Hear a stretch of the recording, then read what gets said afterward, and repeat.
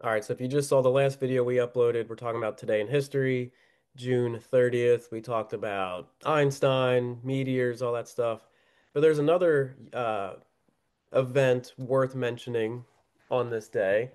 Uh, has have you heard of Robert Henry Lawrence Jr.? Well, you're about to. This was um, the first black astronaut. So June 30th, 1967, U.S. Air Force Major Robert H. Lawrence Jr. became the first African American astronaut when the U.S. Air Force selected him as an aerospace research pilot for the Manned Orbiting Laboratory.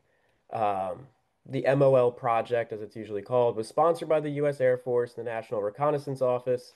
Its intention was to gather photographic evidence against enemies in the Cold War, although at the time the public believed its mission was to simply investigate the usefulness of space travel for the military.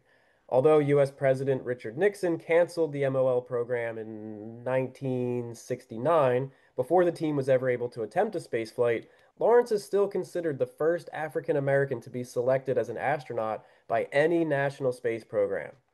Unfortunately, on December 8th, 1967, later that year, Lawrence perished when the plane he was in crashed during a training session. He had been instructing another pilot on techniques that would later be used in NASA's Space Shuttle program. He was 32 years old. If he had survived the crash, NASA historians believe he would have been selected as an astronaut transferred to NASA for the Space Shuttle missions of the 1980s. So remember him, remember your history. There you go.